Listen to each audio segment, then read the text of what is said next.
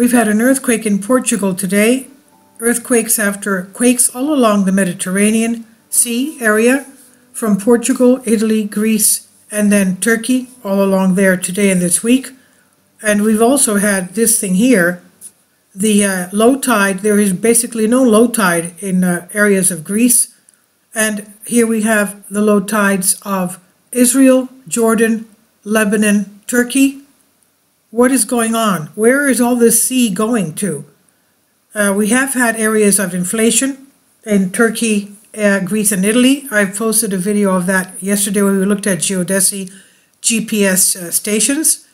And uh, this is what it looks like again, the low tide in the, in the area of, around Corinth of Greece. There is, there is no low tide, there's no water there.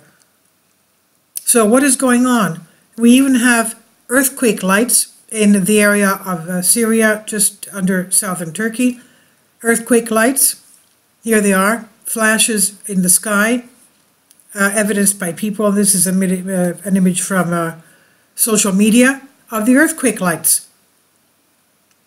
So we have a lot of earthquake activity. Let's take a look at the map and see what's going on. Well, Berkeley, and this is our 3.2 10 kilometer, 6 mile deep magnitude in Portugal. And let's go back again, sorry. And this is it right here.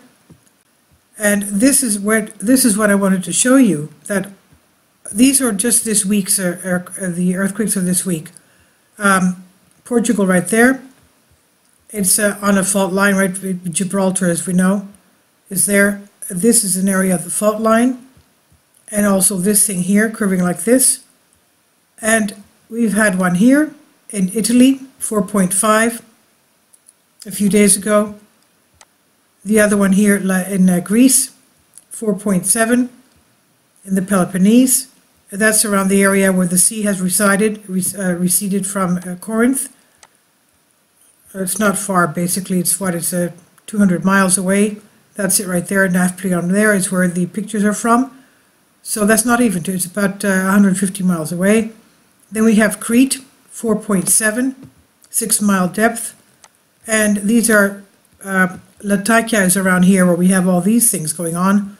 This is Turkey, 4.5 today, at 18 and a half kilometers depth, which is pretty uh, much lower than the 10 kilometers which we usually have.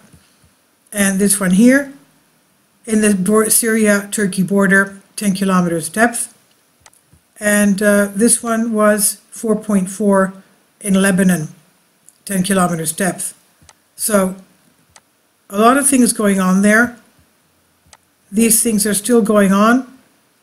And they're moderate earthquakes, as we can see. Let's take a look at the map. Aerial, okay? That's it. If we put on the uh, fault lines, there you go. That's the Transjordanian fault. And uh, basically where the big earthquake took place is right there at the end of it right there. The 7.8 and then the 7.6. And that's in the area of the uh, uh, Tigris Euphrates River, rivers. And uh, as you can see, these fault lines go right through the Mediterranean. And this is exactly where most of these uh, earthquakes took place. The uh, 4.7 that we had here after I'm there with the sea receded, the 4.7 that we had here. Uh, Italy, you can see that around uh, Sardinia right here. Sicily, sorry, Sicily. And of course, the other one around right here. Now, if we go to the 3.2, we'll go to the, there we are, that's it right there. And you can see it basically on the fault lines. All these earthquakes took place on the fault lines. And um, they're still going on. So as we said before, the reports of even in uh, Venice, in Italy, in Venice, where we have, there's Venice, where we've had a lot of reports of the canals going dry, pictures of the canals with their boats on dry uh, riverbeds because the Alps had no snow this winter and it's still winter. It's Basically, we're at the end of February now, and uh, the rivers are dry because there was there was not enough snow in the Alps to feed the rivers water. And uh, what's going to happen in the summer, as far as drought in Italy is concerned? It's a very ominous sign of what's to come in the summer. So, this water situation of the water leaving the Mediterranean, uh, Venice, uh, Tunisia reports that as well, Italy, Greece, and um, uh, Turkey, Syria, Lebanon, and Jerusalem. Pictures of the beaches receding for uh, many, uh, what, 50 feet, 30 feet into uh, into the sea. Where where is it's, it's lower by 50 feet. Uh, what's happening to the water? And this is why the geologists of Turkey and even Greece are saying that's a very worrying sign. It means that something is happening, and they're forecasting, of course, a major another major quake there, and also another major quake around the Istanbul area. And uh, the Greek seismologists are also uh, warning of a, a major quake in Greece. So what's happening? Uh, that's what I wanted to tell you, that we have a lot of activity all along the Mediterranean, as you can see right here. Look at that line. And that's, as we saw before, right around the fault line of the area. Right along here. Okay, and this one here today. Um, and the, the uh, geologists of Portugal say yes, Lisbon is again. It had a big earthquake around 1750, and they are, they are warning of a bigger quake there again as well, as they are in Istanbul because it's been about 250 years um, uh, overdue for a major earthquake there as well. So uh, this is what the situation looks like lately. That strange line on the fault line of um, the Mediterranean. Of course, we know that this is caused by the African plate colliding into the Eurasian plate, the Turkey and uh, Eurasia, Asia, uh, Europe.